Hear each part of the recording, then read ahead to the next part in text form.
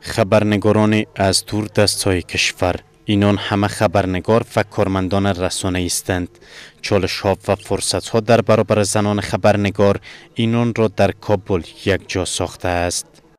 مریم تنها خبرنگار زن در لوگر است.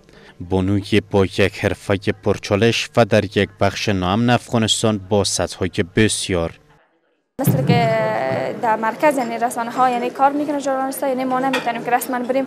هر روز مثلا نمی‌تونیم که بریم در رادیو کار کنیم. مثلا ما در خانه پروگرام جور می‌کنیم و تقدیم می‌کنیم در رادیو. عرفانات ناپسندی که در کنده حاکم است.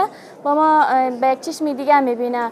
همیشه ما را مورد تمسخر قرار میده. میگه حکومت هم خوبتر از چالش ها در برابر خبرنگاران. به ویژه خبرنگاران زن آگاست.